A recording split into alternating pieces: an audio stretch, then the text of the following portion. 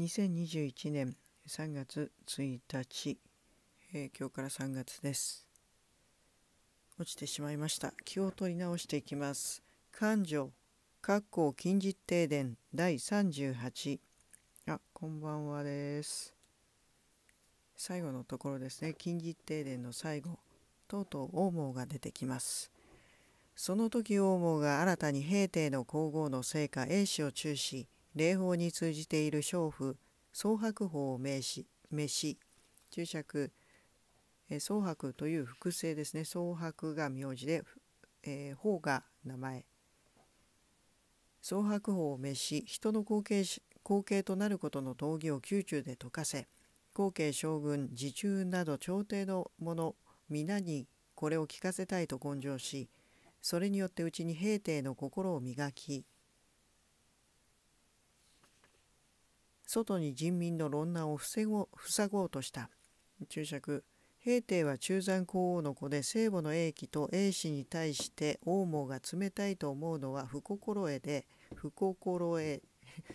心得ではないという不心得で、えー、漢の後継としてその装備を第一とすべきことを風刺する。戻ります。金はみみいとこ族兄弟。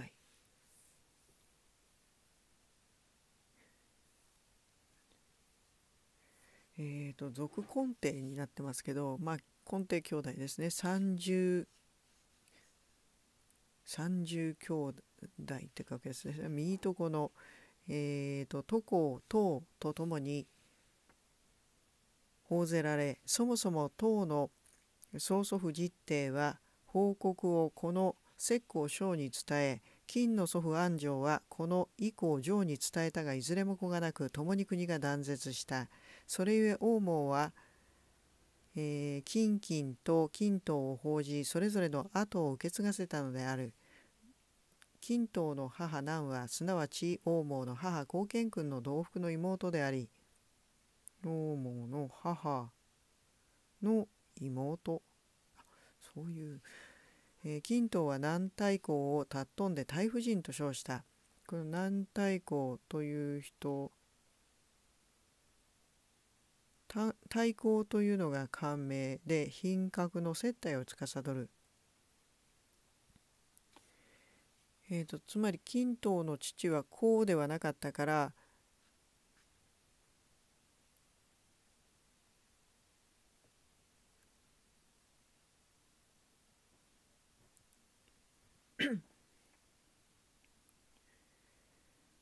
えっとですねちょっと待ってね金刀の父はこうではなかったから何を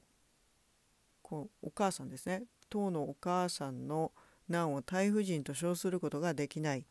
えー、でも特別にこう王毛のお母さんを頼んで、まあ、呼ばせてあげるよとこういうわけですね。えーと、なので王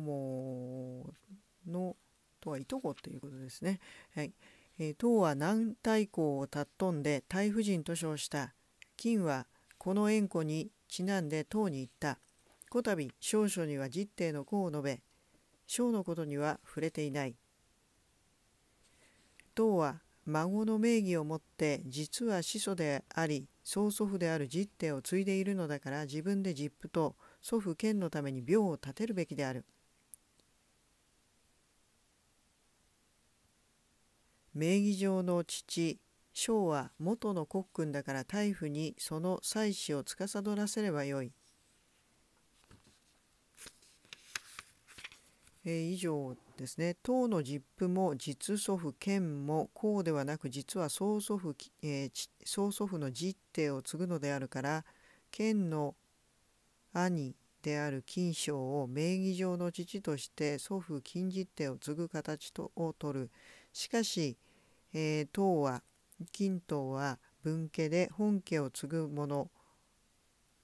であるとその金刀が聖母である南を太夫人と称するのは金賞を、えー、継ぐのではなく金実手を継ぐとして差し支えないと金金は言ったと。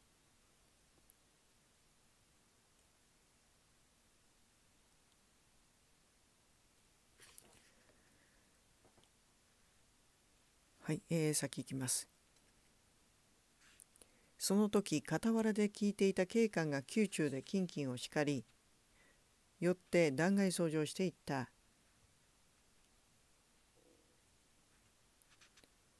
金金は幸いに刑術に通じることができたため特に抜擢され医薬のうちに訓則に半べり重ね重ね高温を被り功に報ぜられ釈号を授かり性病には制度としていよいよ人の後継となるための筋道があることを知っておるはずです。筋道義というのは筋道本家が絶えると分家のものが後継となるということですね。先に元の帝東太后が例の本心背き転移に戻った事件に遭遇したため高愛帝はその幸いを得られず先に旅館英法がまた官房を図り反逆するに至って共にその罪に服しました。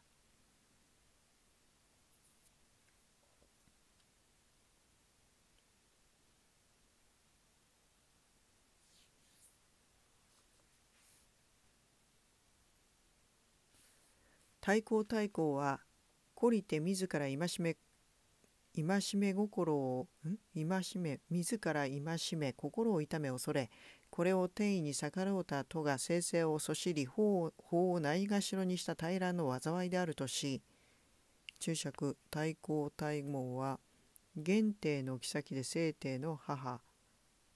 王子で王母のおばさんにあたる人。太閤太后は懲りて自ら戒め心を痛め恐れこれを天意に逆らうたとが生成をそしり法をないがしろにした大乱の災いであるとし誠に天意を褒唱し生成に従うてこれを明らかにし人の後継となることの筋道をもっぱらにしもって天下の命を休んじたいとおぼしめしてしばしば正殿に臨んで軍神を隠見し来京を講習なさいました。孫が祖父を継ぐということは政党が絶えて妻子の住人にあたる者がいないからであります。しかるに金将は実帝の後を継ぎその後国君となって大僧として住人にあたりました。これは礼にいわゆる僧を尊ぶがゆえに僧を敬うことであり大僧というものは断絶してはならぬものであります。まあ、本家ですね。金金は自ら唐とは金唐とは公を共に拝命し後継たる恩義を同じしている立場を知っているのですぐしばしば殿中や、えー、小中で注釈宮中の諸公のおるところで大言相互し唐に金唐に教えてしかじか多言しています。金唐がもし金金の言葉通り実行すれば金金もまた父金明のために廟を建てて以降情を病に祀らないでおこうとするのであります。その振る舞いと身体っていうのは振る舞いですね。機械な言葉はすこぶる囚人の心を惑わせ国の太鼓を乱し波乱の源を開きそう欺いて不幸これ以上の滞在はありませぬ。とりわけ大臣として最もなすべきでなく大不敬であります。都公等は母難を尊んで大婦人と称したこと礼を失し不敬であります。王毛は太閤に申し上げ司法後継大夫博士義郎にこの件を下げ渡し皆が金金は適当な機会に罪につくべきでありますと言った。越者に召され金金は小国に至り金金は自殺した。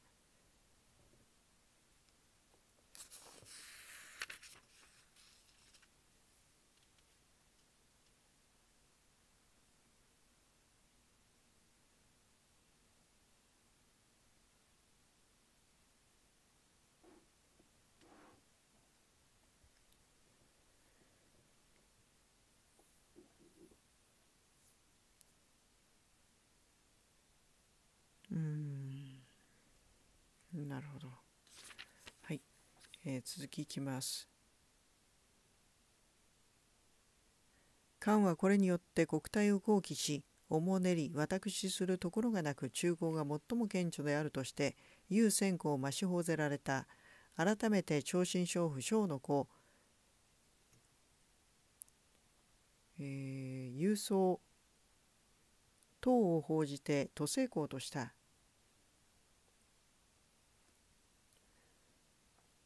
唐は受法の日あえて家に帰ろうとせず都政校の邸に行って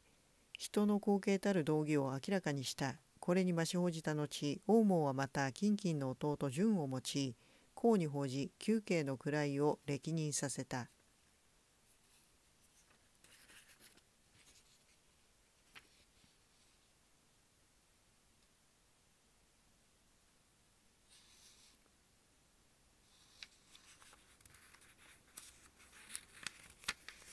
え以上で禁じ手とその子孫たちの伝記終わる。はい、えー、ヒスペディアさんどうもです。今は漢字を読んでいます。はい、それではコメント参ります。3に言う、括弧は元服して以来90に半べり、殿下旧門の間に立って確然と志を取り守り、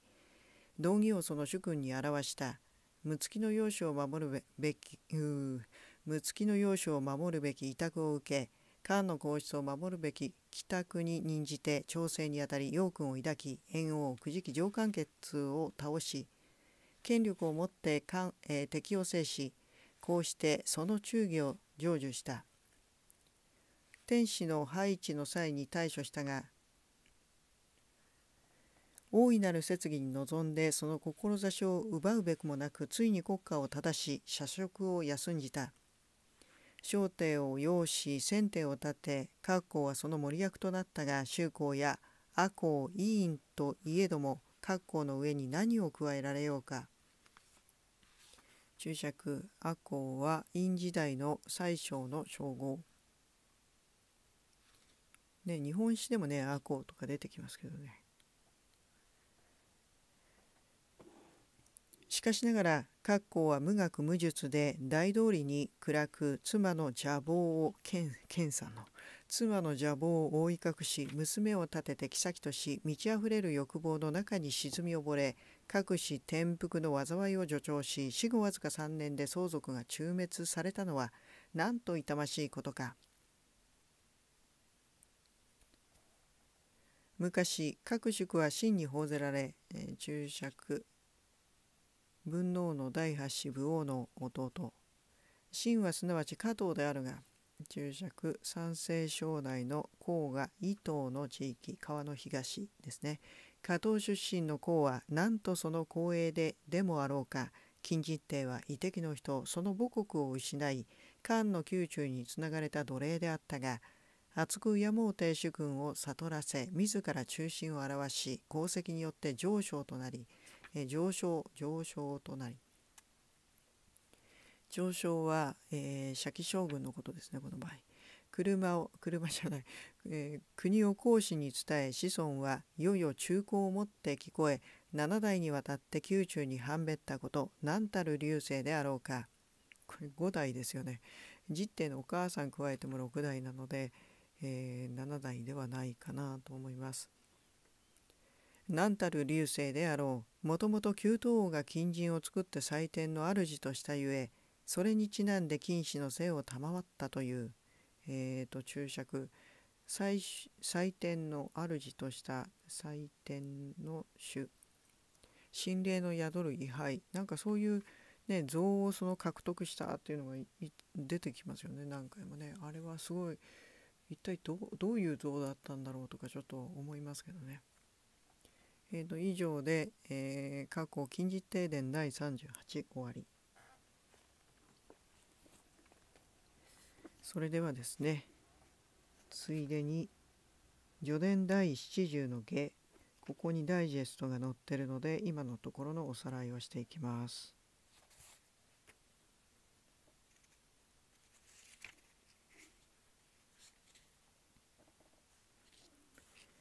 白六甲各校は義を堂々として衣装武功に受け養主交渉を助け育てたがこれは各校が武帝の臨終の命を導き発用したのである。家の不幸に遭い帝を立て王を廃したが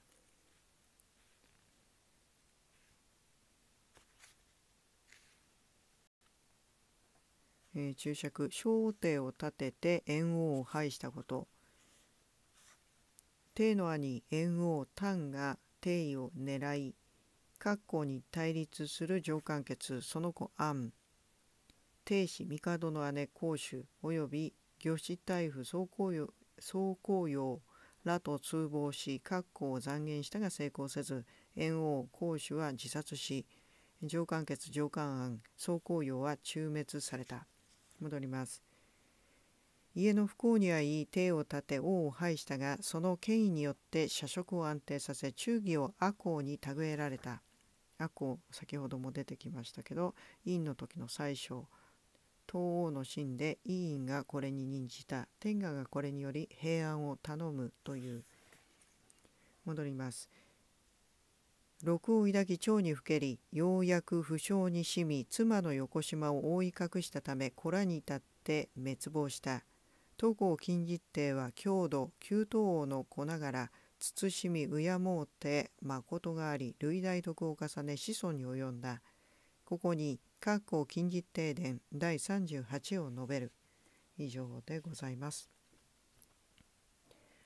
はい、えー、以上で各校金実帝伝第38すべて終了ということにします。次回は長寿国神経記伝第39に進んでまいりたいと思います。それから、応募まで飛びますかね悩みますけど、えー、もうちょっと考えます。また後ほど。